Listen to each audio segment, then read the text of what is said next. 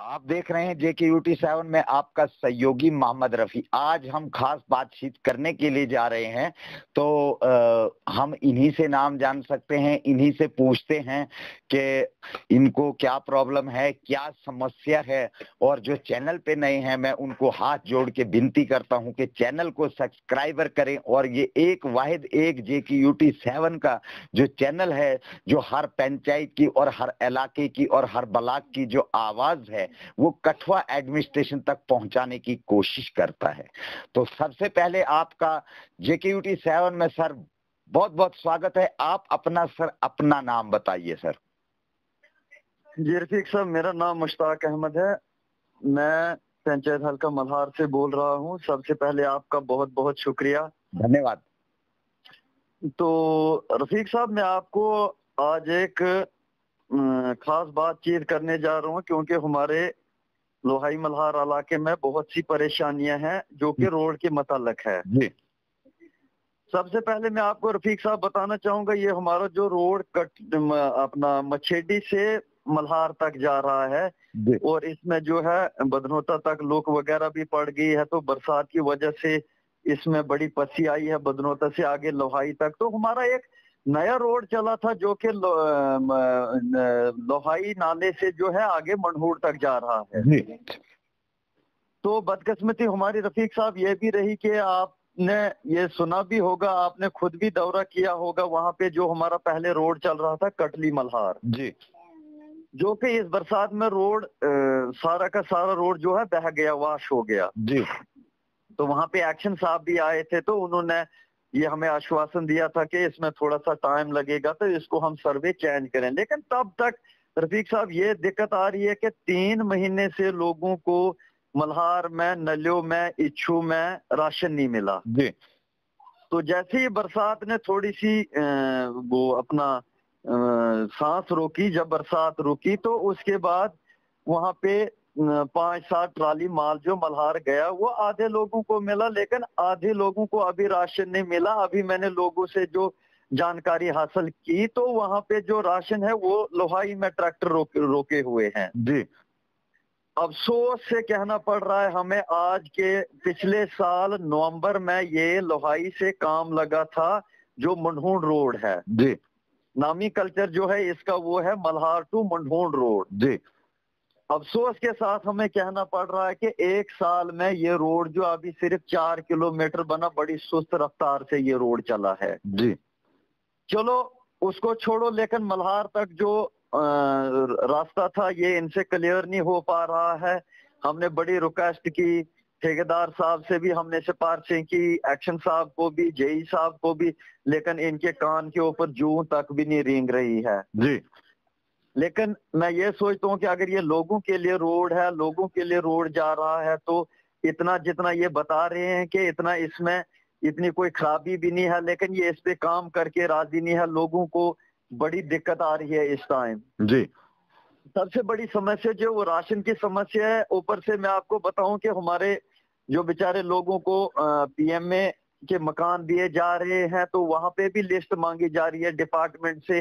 कौन सा काम के स्टेज पे के यू ने सिर्फ़ प्लांट डाले हैं के यू ने सिर्फ़ दीवारें बनाई है के यू ने लेंटर डालने हैं। तो ये पहाड़ी इलाके का हमारा जो लोहाई मल्हार का ब्लाक है खास करके इसमें सिर्फ़ एक महीना काम हो सकता है ये जो अक्टूबर का महीना है। नवंबर के महीने में वहाँ जो जो पक्का काम है वो काम वहाँ पे हो नहीं सकता है। लोहाई में टेंडर लगे हैं ठेकेदारों ने टेंडर उठाए हैं मल्हार में टेंडर लगे हैं इच्छू में टेंडर लगे हैं वो इसी रोड पे डिपेंड करता है जो हमारा अब मछेडी से बिलावर से मछेडी का रोड जो है जो मल्हार तक जाता है। जी। इसी रोड पे जो है वो मटेरियल लेके जाएँगे ठेकेदार और वो काम करेंगे। और एक महीने में जो है ये काम आ, कर सकते हैं ठेकेदार वहाँ पे। तो उसके बाद वहाँ पे काम नहीं होगा क्योंकि वहाँ फिर बर्फ़ गिरना स्टार्ट होगी। जी। तो ठेकेदारों ने बेचारों ने सीडीआर वो सीडीआर भरी है। जी। तो मुझे समझ नहीं आ रही है कि ये डिपार्टमेंट क्या कर रहा है। अगर उस पे अगर डिपार्टमेंट से काम नहीं होता है मैं मैं जोनाब एक्शन साहब से मैं चीफ इंजीनियर जो हमारे पीएमजेएसवाई के हैं उनसे मैं मौतबाना गुजारिश करता हूँ। अगर आपसे नहीं हो पा रहा है तो वो हाथ खड़े करें तो हम पब्लिकली वहाँ पे डोनेशन करेंगे हम लोगों से चंदा लेंगे तब भी उस रोड को साफ़ करेंगे। जी। ये बड़ी, बड़े अफसोस के साथ मुझे कहना पड़ रहा है कि तहसीलदार साहब हमारे वहाँ पे हैं। उनके नोटिस में भी मछेडी के सरपंच जो वहाँ के हमारे बीडीसी हैं, किशोर जी, उन, कमल किशोर जी, उन्होंने रिटर्न में दिया। मगर अफसोस के साथ मुझे कहना पड़ रहा है कि इस पे कोई रद्द अमल ही नहीं हो रहा है, कोई सुनाई नहीं हो रही है। लोग खज्जल हो रहे हैं। तीन तीन महीने से लोगों को राशन नहीं मिल रहा है। मैं सोचता हूँ कि लोहाई मल्हार के लोगों ने इतना क्या जुल्म किया है कि इनके साथ इतनी बेइंसाफी हो रही है। मैं पीएमजीएसवाई के जो खास करके चीफ इंजीनियर है मैं उनके नॉलेज में आपके माध्यम से आवाज़ पहुंचाना चाहता हूँ। मैं हमारे जो डीसी साहब है उनके नॉलेज में ये बात पहुंचाना चाहता हूँ। कपेक्स बजट का काम लगा है। डीसी साहब के नॉलेज में ये बात है कि पहाड़ी इलाके में बदनोता में काम लगे हैं लोहाई मल्हार में काम लगे हैं। पहला स्पॉट जो हमारा पीएमजेएसवाई का जो काम लगा था जो लोहाई में एक मोड़ आता है घटड़ू जी। घटड़ू के पास जो है एक मोड़, वो मोड़ बह गया है, लेकिन बड़े अफसोस के साथ कहना पड़ रहा है, उस मोड़ को ठीक नहीं किया जा रहा है। कैसे ट्रैक्टर जो है, वो आगे पहुँचेंगे? कैसे लोहाई की डेवलपमेंट होगी? कैसे मल्हार पंचायत की डेवलपमेंट होगी? कैसे इच्छू मल्हार की डेवलपमेंट होगी? इच्छू तक जो है वो मटेरियल इसी रोड पे जाएगा। जी, लोहाई लोहाई टू मल्हार के लिए। लोहाई टू मल्हार के लिए भी जाएगा। आप अगर इस रोड पे देखा जाए तो बदनोता से आगे जो लोहाई तक भी इस रोड की बुरी हालत है बहुत पसी पड़ी है उस रोड पे। जी। जिस ठेकेदार ने वहाँ पे टेंडर लिया है उसमें कैंकरा डाला है कम से कम उसको तो ये भी देखना चाहिए कि उसके बैक साइड जो पसी पड़ी है मैं उसको उठाऊं ताकि डंपर वगैरह जो आगे मल्हार निकल जाएगा वहाँ जो मटेरियल जाएगा वो लोगों के लिए राशन जाएगा दुकानदारों के लिए राशन जाएगा। मुझे आप रफीक साहब एक बात बताएँ कि कटली से मल्हार जो है इस टाइम एक खच्चर का रेट है पाँच सौ रुपया। जी। तो मुझे बताएँ कि मल्हार अगर कटली से खच्चर मल्हार के लिए जाएगी तो पाँच सौ रुपया कैरेज है उस पे अगर मान लो कि एक क्विंटल चावल लेके जाएगा दुकानदार मल्हार के लिए। पाँच सौ रुपया एक खच्चर का किराया है क्विंटल के पीछे जो है पाँच रुपये एक किलो के पीछे कैरेज जा रहा है वो दुकानदारों का भी क्या कसूर है? वो तो उन्हीं गरीब लोगों के सर पे निकलेगा। जी। कम से कम अगर एडमिनिस्ट्रेशन को चाहिए पीएमजेएसवाई को चीफ इंजीनियर साहब जो है वो मैं चाहता हूँ कि मेरी आवाज़ आवाज़ जो है आपके चैनल के माध्यम से उन तक पहुँचे कि पिछले साल नवंबर में इस, इस, इस रोड का काम लगा जो मल्हार टू मंढूण का रोड है। जी। एक साल में ये रोड जो है पहुँच रहा है मल्हार में चार किलोमीटर। अच्छा एक साल में चार किलोमीटर जो है रोड की जो स्पीड है एक साल में चार किलोमीटर। चार किलोमीटर रोड है। मुझे पता नहीं लग रहा है कि ये कौन सी टेक्नोलॉजी का इस्तेमाल और इस रोड पे एक ही जेसीबी काम कर रही है एक साल से। जी। मैं सोचता हूँ हमारे जो पंच सरपंच डीडीसी डीडीसी है ये भी पता नहीं कौन सी गहरी नींद में सोए हुए हैं। जी। ये क्यों नहीं? गरीब लोगों की आवाज़ जो है हाई कमांड तक पहुंचाते हैं। उसके बाद दूसरी बात उसमें यह भी आ रही है कि वहाँ पे जो जेसीबी का ऑपरेटर काम कर रहा है वो सब ड्रामे कर रहा है कि मुझे लोग रोक रहे हैं। जनाब हम वहाँ के लोकल हैं। मैंने उसको ऑपरेटर को खुद भी कहा कि जहाँ पे आपको कोई पसीनी उठाने दे रहा है हमारे मैं खुद मेरा नाम नोट रखें जो भी कोई ऑफिसर है मेरे साथ वो डायरेक्ट कंडक्ट करे। उस रोड पे जो है मेरे रिश्तेदारों की ज़मीन आई है हमारी खुद की जमीनें आई हैं। हमारे खुद के मकान उसमें आए हमने कभी भी डिपार्टमेंट को या ठेकेदार को नहीं रोका कि आप यहाँ से रोड मत निकालिए। जी।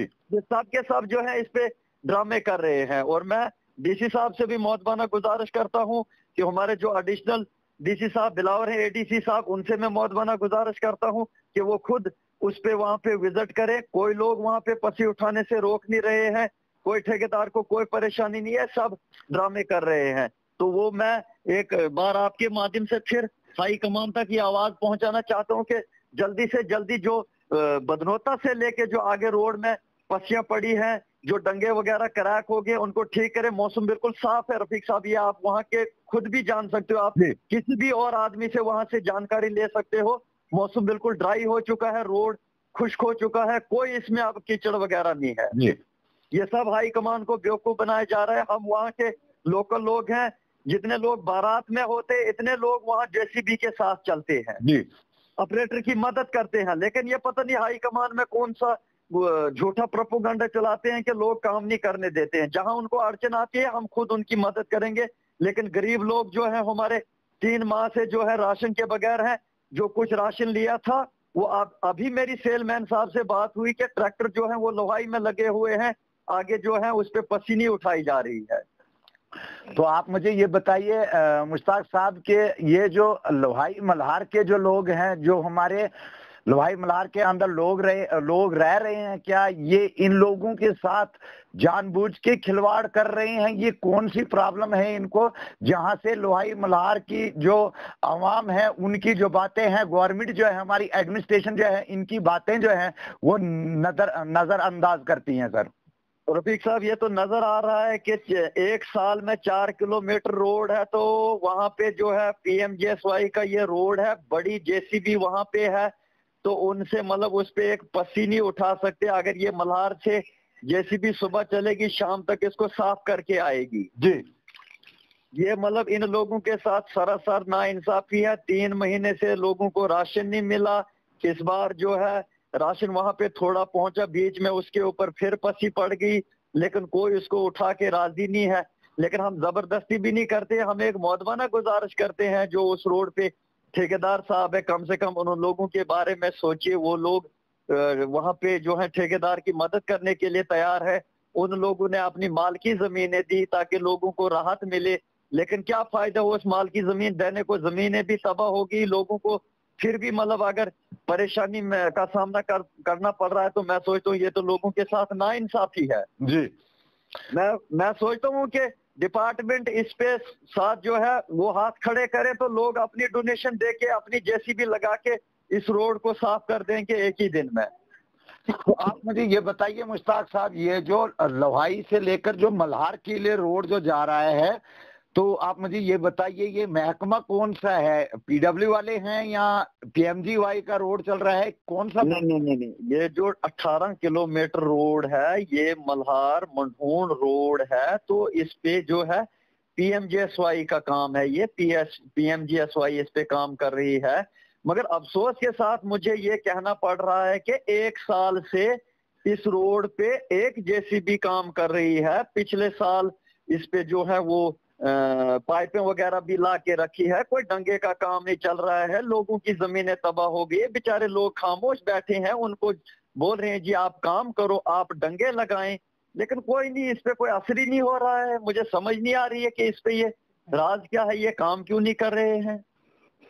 तो अब मुझे ये बताइए मुश्ताक साहब कि हमारे जेके यूटी सेवन के माध्यम से आप, हमारे चैनल के माध्यम से आप कठुआ एडमिनिस्ट्रेशन, लोहाई मल्हार का जो तहसीलदार साहब हैं, बिलावर एसीडी साहब हैं और इनको क्या मैसेज देना चाहते हैं, सर?